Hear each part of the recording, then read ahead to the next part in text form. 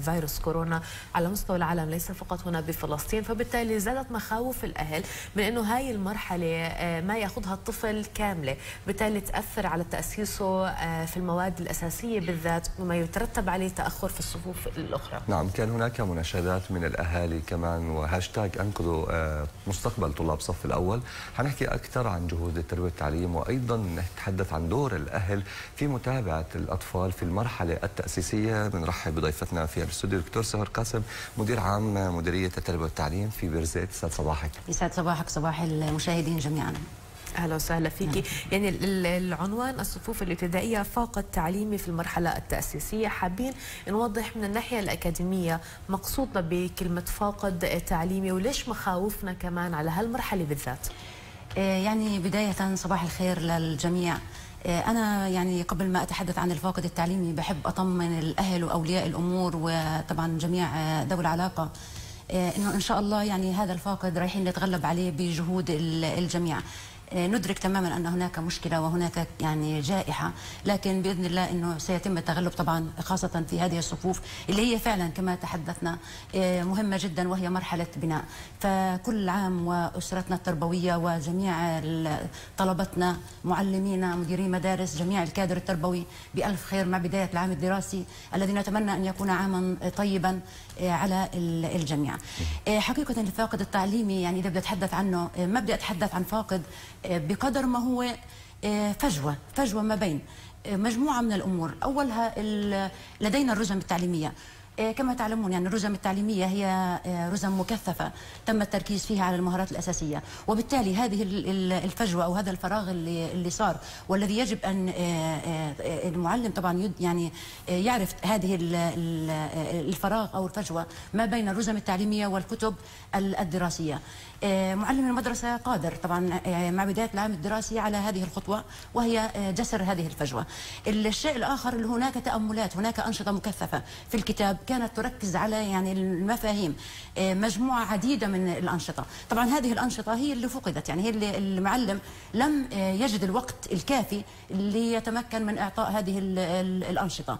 أيضا هناك تأملات دائما المعلم يتأمل يتأمل في استراتيجياته في أدائه في أداء الطلبة. هذا الجزء أيضا يعني إحنا نعتبره فاقد. فهي طبعا مجموعة الأمور اللي هي فاقد تعليمي طبعا وأيضا هناك أمور أخرى يعني عند دوام الطالب في المدارس. المعلم مع بداية يعني 16 8 هي هي المرحلة الثالثة أطلقنا عليها من مراحل الخطة اللي أطلقتها الوزارة في شهر 5 في هذه الخطة من 16 8 ل 31 8 اللي هي معالجة مراجعة مكثفة للمهارات والمفاهيم الأساسية. نعم.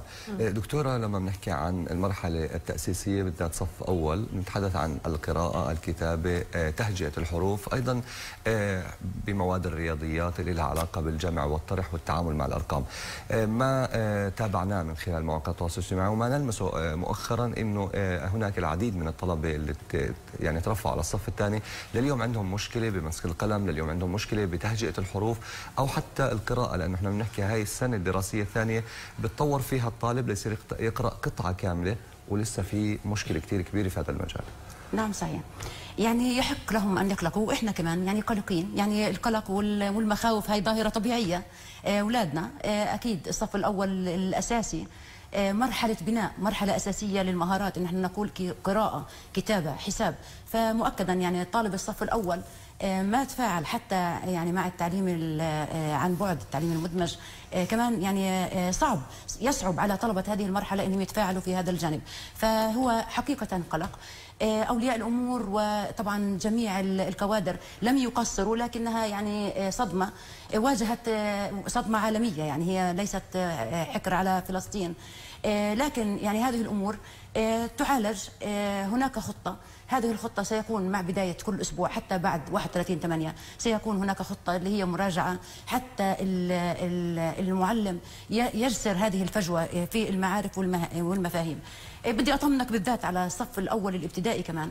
هلأ هو في رياض الأطفال هو في عنده يعني ترفيه أكثر من إنه تدريس. يعني في تدريس بس دائما التدريس بالترفيه. وبالتالي يعني الفاقد رايح يكون فيه بس إنه رايح يكون جزئي رايح يكون في الصف نفسه.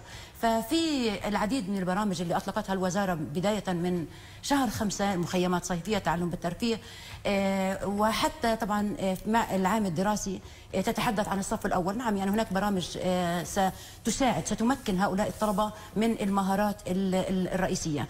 فيعني صف أول إحنا حتى ما بنقول إنه هذا الطالب ضعيف. مثلا في الصف الأول كثير بزعل لما أسمع ابنك ضعيف سواء من معلم أو من ولي الأمر لا هو مش ضعيف هو في مرحلة بناء هو جاي على هاي المهارات ياخذ هاي المهارات ويتعلم فإن شاء الله يعني بحكم ما تم في بس هو حسب المنهاج آه، دكتورة حسب المنهاج مثلا بدنا ناخذ كتاب العربي لصف أول كتاب العربي نعم. الدرس نعم. يشمل كلمات نعم مفردات صحيح. مفردات فقط صف ثاني الدرس عبارة عن نعم صفحة صحيح. تحتوي على فقرتين أنا عم بحكي عن تجربة مش عم بحكي عن يعني نعم نعم مراقب نعم. الكتاب يعني هو في الاساس كان الطالب بحاجة لدفعه لحتى يقرأ هذه الفقرة نعم. اللي هي مش سطر فهلأ مع آه، خلينا نقول صف أول ما أخذوا بالصورة الكافية هو كان في دوام من أول لرابع العام الماضي ولكن ربما ما كان بالصورة نعم، الكافية نعم. لم يكن كافي حتى نهاية العام أيضا ما كانت يعني آه، ما أعطت المجال كافي لختام الكتاب ربما أو حتى التأكيد من ثبوت المعلومات والقراءة والتفاصيل الأساسية ف يعني هي بالأساس كانت ولكن هلأ بحاجة لدعم. أكثر فكيف رح الطالب يدخل على مرحلة قراءة مقاطع ليوصل لفقرات للدرس كاملة؟ آه يعني حاليا إحنا بنتحدث عن طلبة آه هناك فروقات فردية هناك بيئات مختلفة. وبالتالي آه في وزارة التربية والتعليم تحدثنا عن خطة. هذه الخطة خليني أسميها إطار مرجعي لجميع طلبة فلسطين في المحافظات الشمالية والجنوبية. هذه الخطة تركز على أن في هناك مراجعة وتكثيف وتركيز على المهارات الأساسية. في من 16 8 ل 31 ل 31 8 في تركيز على هذه الجوانب. بعد ذلك كل فترة دراسية كما تعلمون السنة الدراسية تتكون من أربع فترات وبالتالي أيضا هذه فرصة جيدة. يعني هلأ كل شهرين الطالب كل في فترات طبعا محددة حسب التعليمات إنه هاي آه، الطالب آه، يتعلم ومن ثم ينهي هذه المرحلة لينتقل طبعا تراكميا هناك إنجاز أو أداء للطالب. آه، يتم تقويمه وينتقل إلى المرحلة أو الفترة الزمنية الثانية فالثالثة فالرابعة. هذا طبعا آه، آه، كخطة وإطار مرجعي. الشيء الآخر يعني وهي لزملائنا ومديري مدارسنا وكل آه، كمان أولياء الأمور. هلا الشيء الآخر يبقى في كل منطقة في كل منطقة جغرافية أو مدرسة. لأنه يعني مش كل الطلاب آه، مثل بعض. في فروقات فردية ومش كل المدارس كانت مثل بعض. يعني هناك العديد من المدارس اللي انخرطت في التعليم الوجاهي وفي التعليم هناك مدارس ما كان ما كان في إمكانيات. هناك أولياء أمور ركزوا كثفوا جهودهم مع الطلاب. وبالتالي عشان أجاوب على سؤالك المعلم هون آه، هو كمان المسؤولية والحمل والهم الله يعينه عليه في المدارس. حتى إنه يقدر يميز ويحدد هذا الفاقد بدقة. وين الفاقد مع طلاب صفي؟ الآن عندك 25 30 طالب حسب البيئة اللي أنت موجود فيها. فكل معلم طبعا بالتعاون مع الكوادر المشرفين وكل آه، مديريات طبعا آه، وزارة التربية حتى إنه يساعدوا هذا المعلم. إذا كان في طبعا في خطة وبالمناسبة في خطة مطلوب كمان إنه يحدد حتى يحدد صحيح. إيش هذا الفاقد. لكن أنا حقيقة بقول التحديد الفعلي للفاقد داخل غرفة الصف. آه حتى المعلم حتى لو بده يمشي من واحد تسعة في الكتاب آه عليه أن يتراجع خطوة. إذا وجد الطالب لم يعني يتمكن من هذه المهارة إذا وجد يعني بده يشتغل. وأنا بقول يعني عام دراسي الله يعين الجميع عليه. هذا عام طبعا عمل.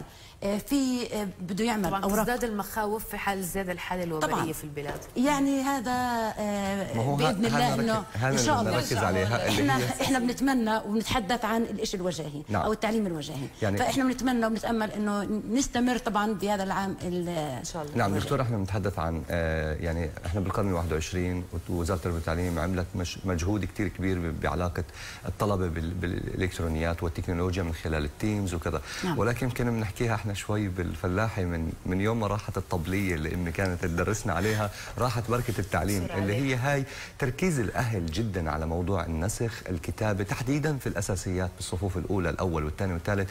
آه، الدور اللي يعني اللي بيكون موجود ما بين المدرسة وأيضا البيت آه، المهام اللي موكل لها الطالب. وشوي هسه لما نرجع للتعليم الوجاهي شوي نبعدهم عن الإلكترونيات ليرجعوا يقرأوا يكتبوا يتعاملوا بالم- بالملمس الصحيح للورقه والقلم. تمام. يعني إحنا ما بدنا نبعدهم عن التقنيات إحنا بدنا نوجههم كيف يستخدموا طبعا هاي التقنيات لصالح التعليم؟ آه، حقيقة يعني آه، الاستخدام التعلم عن بعد الصفوف الافتراضية منصات التعليم يعني آه، مع الصدمة طبعا اللي واجهناها في كورونا. وما بدي أقول إن بس في كان في شيء إيجابي إنه صحيح. هو كمان يعني صار في معين لنا يعني حتى أثناء الدوام المدرسي حاليا. يعني هناك أمور قد تحول بعد المدرسة نقطة إيجابية. قد تكون أيضا نقطة أخرى آه، إيجابية للتواصل مع أولياء الأمور. آه، مهمات التعليمية طبعا منذ سنوات يعني نحن نتحدث عن مهمة تعليمية تشاركية ما بين المدرسة وما بين اولياء الأمور. وبالتالي يعني هاي التقنيات وهاي التكنولوجيا إحنا بدنا نوجه الطلاب ونوجه أولياء الأمور كمان آه، حتى إنهم يعملوا معا من أجل إنه الطالب فعلا يتواصل. ولي الأمر يعني ولي الأمر آه، كمان انحط في أزمة. وما زالوا يعني ما تحدثت عنه يعني إنه فعلا قلقين. فما حد يعني ما ما كان هي من باب تقصير ولكن كان في إمكانات وكان في ظروف وكان في يعني وباء وهذا الوباء كان في عامل خوف نفسي. هسه دورنا ودور أولياء الأمور إنه طبعا نستفيد من هاي التقنيات إنه نوجه آه، هؤلاء الطلاب إنه كيف نتعاون وكيف نتعامل مع المدرسة. آه، في قلق نفسي لازم نعيد التوازن الاجتماعي العاطفي لهدول الطلاب. آه، في شيء نفسي يعني حتى ولي الأمر يعني أنا شايف القلق على ابنك في عينيكي ففي قلق طبعا من الجميع على هذا الجانب اللي لازم آه، يكون بتعاون الجميع. ومن هذا وبهذه المناسبة يعني أنا بأكد على قضية الشراكة أو مجالس التعليم المجتمعي اللي الوزارة آه، أطلقتها إنه كمان إنه نستفيد من هاي الفرصة إنه حتى نعزز ونمكن طبعا الطلاب. وفي يعني العديد من الأنشطة اللي ممكن تكون أثناء. الدوام وخارج الدوام حتى إنه نتغلب طبعا على هاي نعم. الجائحة. كل الشكر لك دكتورة سهير قاسم مدير عام مديرية التربية في برزيت ويسعد صباحك ويعطيك العافية. شكرا لكم مشك- مشكورة جهودكم وأيضا كل التحية لكل الأسرة التعليمية ومشاهدينا بنكمل معكم بمحطاتنا الصباحية إلى جنين وزميلة آمنة بلالو. وبدنا نتعرف على الشاب حمدي اللي بيبدع بالرسم على الرمل مش بس ككلمات كرسومات وإبداعه كان مذهل بنتابعه إياكم في هذا التقرير.